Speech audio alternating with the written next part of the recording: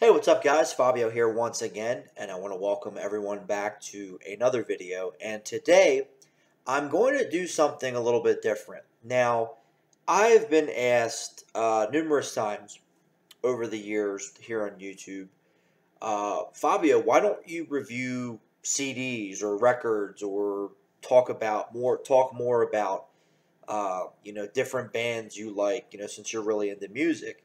And, um, you know, that idea has been bouncing around in my head for a little bit. And I figured I will try to, you know, give this a go. I think I'm going to just do a little test run here on on this. And if people like it great. I'll keep doing it. If people don't like it i won't do it.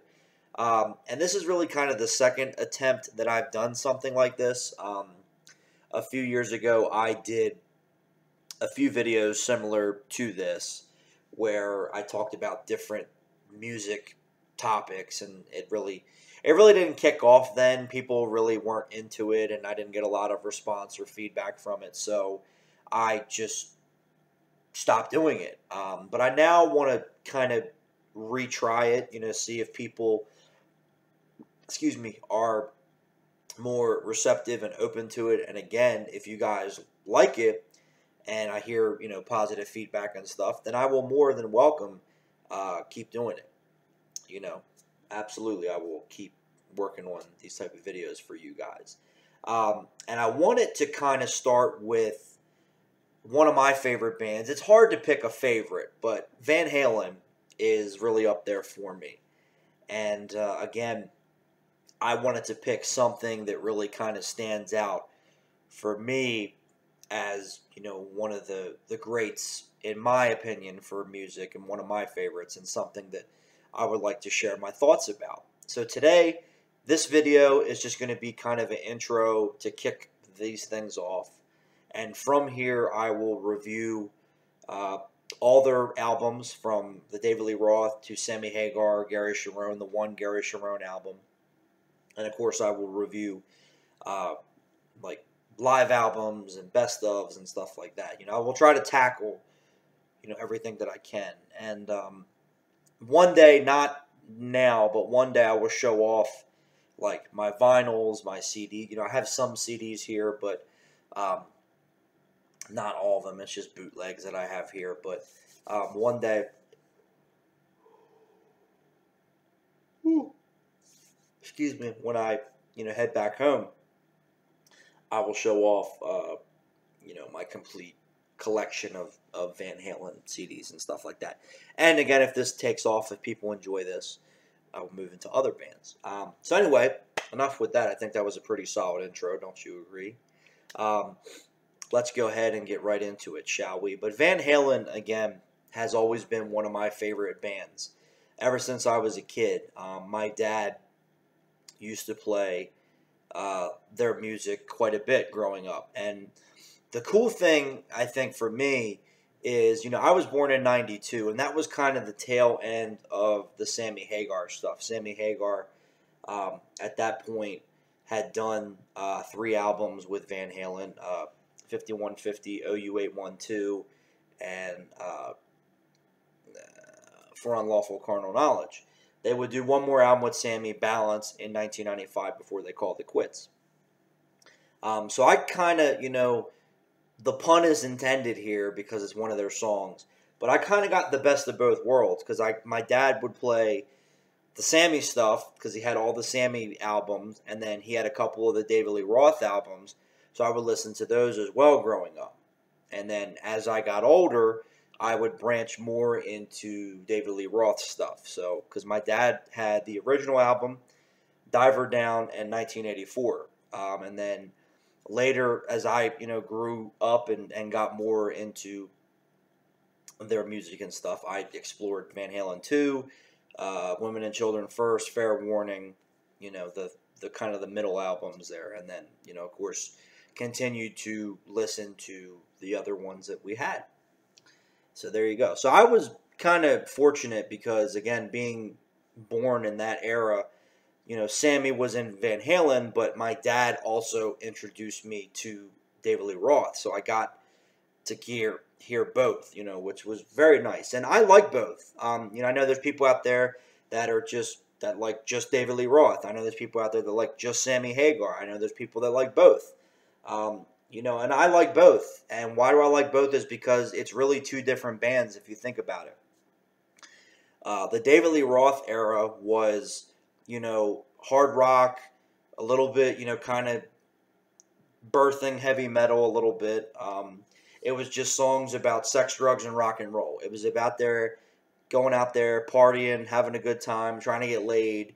And, you know, they wrote a lot of great songs. Those first six albums, I still think is their best work. I think the David Lee Roth stuff is, is Van Halen. And again, I love Sammy Hagar, don't get me wrong.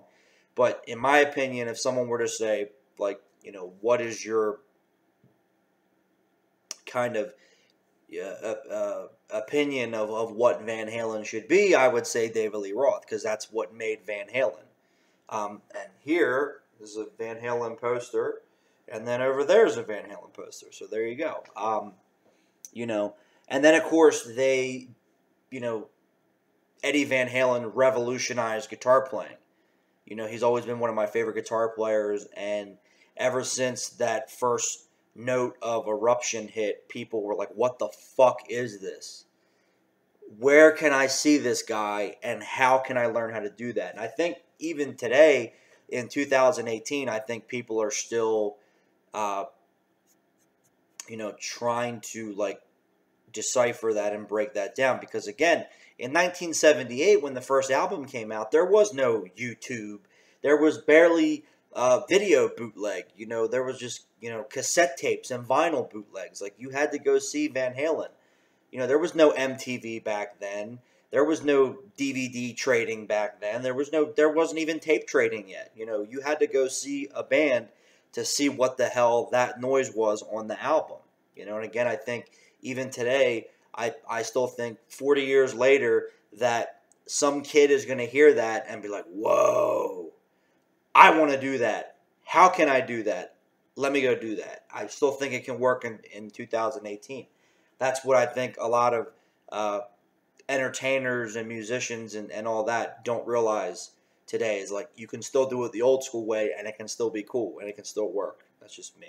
Um, but Van Halen ran hard from 78 to 84. You know, they started very humbly as just kind of a, a local band from Pasadena, California. They played, uh, you know, backyard beer parties and high school dances and and you know very humble beginnings. You know, they started out as a cover band. They used to play you know Kiss songs, Aerosmith songs, Deep Purple songs, uh, whatever they could do. And then as time went on, they would play you know their own songs and you know uh, Gene Simmons tried to get him a demo and that really didn't work out and then Warner Brothers took an interest in Van Halen.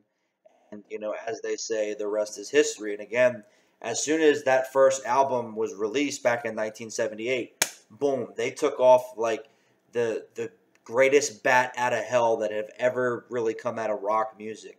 And if you think about it, yeah, I mean, you know, bands like Aerosmith and Kiss and ACDC and Zeppelin and The Who and all these other great rock bands, you know, they had that rise to fame too. But I don't think that anybody was as big or has since been as big as Van Halen. Now, again, you know, people can say, well, you know, Motley Crue really hit it hard. They did, but I don't think they hit it as quick as Van Halen. You know, that's just my opinion. You know, again, if I'm wrong on that, that's okay. It's just my thoughts on that. Um, you know, but they just came out of out of California, out of Pasadena, at, you know, just like a train that would not stop. And then, you know, Van Halen 2 came out and was, you know, another big success. I don't think it was as big as the first album, but it was still a success enough to keep them going. And then Women and Children First came out, and then Fair Warning came out and really reached into darker territory with that. And I still think Fair Warning is a great album that people kind of overlook. There's a lot of really good songs on there, and they're dark and they're down and dirty, and they really get you know their claws sunk in on those songs. And I think it's great. There's a lot of great songs on that album. you know, and then Diver Down came out, and people were kind of like, okay, you know, because it was a cover album. And I think when it came out, people were kind of like, eh.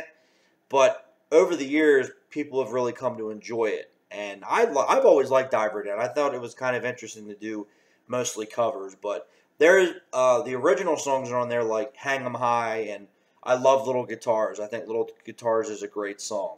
Uh, the Full Bug, you know, I think those are good. And then all the covers are good. Um, you know, I really like their cover of Pretty Woman and Dancing in the Street. Those were big hits for them, so there you go. And I think, again, that's where people kind of thought Van Halen was kind of like, all right, no, this isn't going to work anymore. And then 1984 came out and pff, blew up. Blew up. That was a huge album back in the day.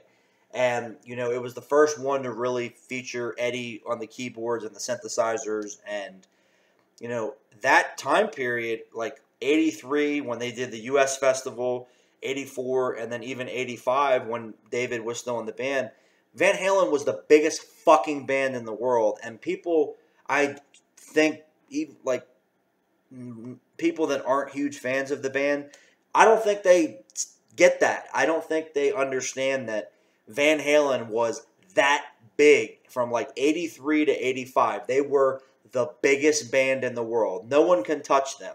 And that's like was kind of the transition period because that's kind of like when old rock like Kiss and, you know, Aerosmith and all that wasn't cool anymore. And Van Halen was kind of like that last band to really hold on to that and really still prove that okay, you know, because at that time, like hair metal was coming in, you know, stuff like Motley Crue and Def Leppard, and then a couple years later, you know, Poison, Whitesnake became hair metal. But Van Halen was still that one band that was still there, still putting out great music, and it was like, you can try to fuck with us, but you won't because we're better than you. We know we're better than you, and we're going to go out there tonight and we are going to fucking prove it. And that's what they did every night, you know, from the beginning until 85, you know, and then uh, David left the band in 85 and, and it was, it wasn't, you know, a specific thing. There was a lot of things going on at the time with not just David, but with Eddie and, and everything else. And, you know, it was kind of just like that was the point where they couldn't do it anymore. And then Sammy Hagar enters the picture. And the thing is, Sammy Hagar was already a very well established rock star at the time. He was in Montrose, which they put out great songs like Rock Candy and uh, Bad Motor Scooter and, and some other ones that were good. And then he went into a solo career and he had, you know, I Can't Drive 55 and Your Love is Driving Me Crazy, you know, songs like that. And then all of a sudden, this guy's the lead singer of Van Halen. It's like, whoa, like, what's going on here? And again, I don't think even today, all these years later, you know, 32 years later, people still don't get how big that was. Like Sammy Hagar becoming the lead singer of Van Halen, like no one expected that. And I, you know, again, people I think don't realize how big that was for music. And then what do they, people were like, this isn't going to work. What they do, they release four number one albums in a row. All four albums with Sammy Hagar, number one. And they said that Sammy Hagar wouldn't work. And they changed, like, you know, uh, 5150 and OU812 is very keyboard, very synthesizer heavy, but they're still like great riffs, you know, again, best of both worlds. Like there's still that classic Van Halen sound in there, but they changed with the times because they realized that the old Van Halen, you know, running with the devil and you know, somebody get me a doctor and dance the night away, like that wasn't going to work anymore because now it's the 80 it's the, the 80s are in full swing. It's all about, you know, new wave and and you know, all that, you know, keyboard, synthesizers, you know, that was what was cool and Van Halen was like, all right, cool, you know, we can do that too, but we can still be a rock band. And they did. And again, you know, all the Sammy, you know, the first two are more the electronic, stuff, the you know the keyboards and the synthesizers, but there's still again great songs on those albums that don't feature that. Again, Best of Both Worlds is a great rock song. And Sammy Hagar is a completely different singer than David Lee Roth. You know, David Lee Roth is all like, you know, God damn it, boy, I ain't lying to you. I'm only gonna tell you one time. Oh, ah! You know, like screeching and screaming and carrying on, and you know, he's got that that deep voice, and then Sammy comes in and he's like, you know, why can't this be love? You know, it's like, whoa, like holy shit, this works. And you know, a lot of those songs again were power ballads. You know, why can't this be love? Dreams, um, you know, when it's love. But there's a lot of big songs, huge hits that those were. Those were huge songs back in the 80s. You know, and then there's again, there's other songs on those albums that, you know, Mine All Mine is a great song. Oh, I, I fucking love that song.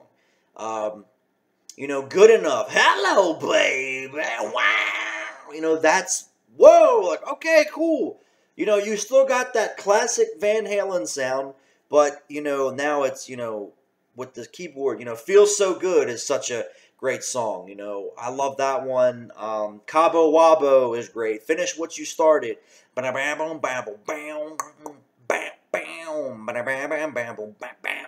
a great riff, like you know, um, you know, fifty one fifty, the title track. You know, you know, there's just so much great music on there that people don't talk about anymore because it's Sammy Hagar. Like, who gives a fuck? You know, if you don't like Sammy, great. That's awesome. You know, run with that till you die. I don't care. But there's so much great music in there that nobody talks about. And then you get into the 90s and it's like, okay, that shit's not cool anymore. Now it's about grunge and grimy music and, you know, Nirvana and Pearl Jam and all this. And then Van Halen's like, okay, cool we can do that too. And then you have For Unlawful Carnal, Carnal Knowledge, aka Fuck. And that album is, you know, a return to that classic Van Halen sound all the way through. You know, Pound Cake with the drill, you know, you know, whoa, like, come on. You know, other songs um, on there. Uh, you know, Judgment Day was a great song. Put it off bah, bah, bah, until Judgment Day. Um, you know, uh, fucking. What else is on? You know, uh, Spank line. That fucking bass line. That Michael Anthony bass line. You know, boom, bam, boom, bam, bam, boom, bam, boom, bam. You know, just Michael Anthony is my favorite bass player. He always will be. The guy is a fucking genius. You know, it's a shame what they did to him, and I'll get more into that when we get into the, the actual albums. Um, you know, uh, Run Around is a great song. Here we go, round, round, round. You know, Top of the World uh, is just a fucking. I love that song so much, you know. Bam, bam, bam, bam. Just a great riff. Fucking right now, you know. Bam, wow you know, just a fucking amazing song with a great message. And then Balance, I think Balance was, you know, to be honest, the best of the Sammy Hagar albums. And it's so raw on there and it's dark and it's like, whoa, like this fuck. Like, I recently, you know, um, I think at Christmas, yeah, when I was home at Christmas, I put that on the turntable and I was just like, just listen to this fucking album. I remember telling my brother, I'm like, just listen to this. This is Van Halen. I don't give a fuck what anyone says, you know. Um, don't tell me what love can do. Um, you know, Seven Seal is a band. You know, that's a great riff, and just even like "Can't Stop Loving You" is a great ballad, and there's you know, "Balance" I think is is the best Sammy Hagar album in my opinion. You know, and then 96 they call they did the the twister uh, humans humans being for twister which i love that song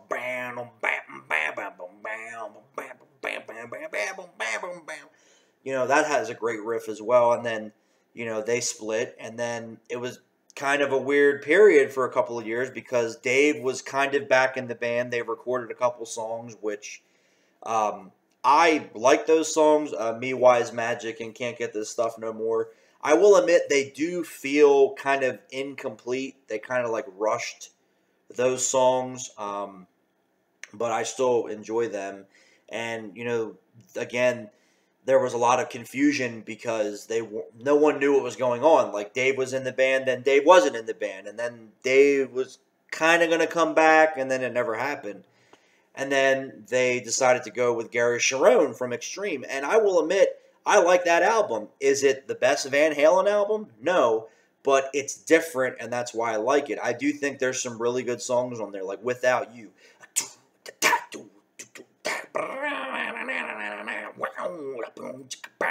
Like that's good. And then I really like Fire in the Hole, which was in uh, Lethal Weapon 4. And there, unfortunately, the issue with that time period, um, you know, Michael was also kind of on his way out because they kind of screwed over Mike Anthony again. And, you know, there was a lot of political stuff going on between Eddie and the label. And, um, you know, I think Gary Cherone was kind of a victim of that, and I think he was kind of thrown into a situation where um, no matter what kind of job the guy did, it was going to just not work, you know, in my opinion. Um, and obviously it didn't because they they did some demos for a potential second album, and then that was it. And then like Van Halen was really quiet for a few years, and um, you know I remember in 2004 when they got back with Sammy I was like, oh, okay, cool. And I remember um, trying to go see them on that tour, and I never did. But um, from what I heard, that was not a very good time period. I know Eddie was still struggling with uh, alcohol, and, and Sammy was not very happy, and there was just a lot of shit going on there um, that just didn't pan out well for anybody. And then obviously after that tour, nothing happened there. And then I remember when they announced David Lee Roth was coming back in 2007, and I was in high school at the time, and I remember that being a really big deal. And that was the highest grossing concert tour of that year, which is amazing. You know, Van Halen in 2007 made more money than any other fucking band in the world. Pretty amazing. And I, again, I remember trying to go see them on that tour, and I never got the opportunity to, which is unfortunate. You know, and then they did the a different kind of truth album, which I really like that album. I think there's some really good material on there. I don't give a fuck that a lot of it is out like old demos that they redid and outtakes and stuff like that. I like that idea, you know. I thought it, it made it kind of interesting. And you know, um, I'm not, you know, the biggest supporter of Wolfgang being in the van and the band. I get why he's there because he's Eddie's kid and he can play bass. Um, you know, he does a good job, but you know, to me, and even David said it when they did the press conference for the 2007 tour. He's like, "This is not a reunion. This is a reformation because." You know, Michael Anthony was such a huge part of Van Halen from just that thundering bass that he had and his amazing background vocals, you cannot replace him. You can never replace Michael Anthony. And it's such a shame that they parted ways with him and, and the way that they did it and it's just like it was it was it was stupid in my opinion. Should never should have never have happened, but that's just my opinion. But I do really like that different kind of truth album and they did a tour for that and then that was good. And then 2015 they just did a summer tour because they put out the live album with Dave, and I saw them on that tour, and I thought they were great. It was one of the best nights of my life. It was one of the best times of my life, and I got to see them, and, and it was awesome. And it is very frustrating to be a Van Halen fan because we've literally heard nothing in three years. So like, you know, it's it's it's very frustrating because they don't do interviews, they don't do press or anything like that. Um, Dave has done some like private shows and stuff, which is cool. You know, it, obviously it helps pay the bills, and I'm sure he enjoys doing that.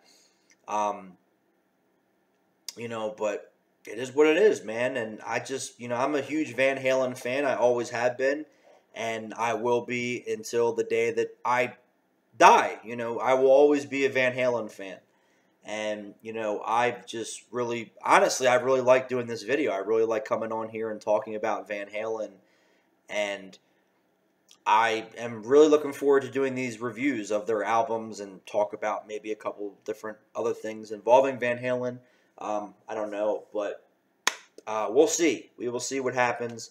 Um, again, I hope that you guys enjoyed this video. As always, I you know hope that you like all the videos that I do.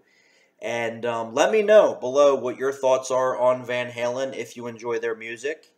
And um, I will uh, talk to you guys later. And the next video that I do will be a review of none other than the original album. And I will go through song by song and kind of share my thoughts, you know, history and stuff like that with it. So until then, as always, thank you guys for watching. Take care. I'll talk to you guys soon. Bye bye.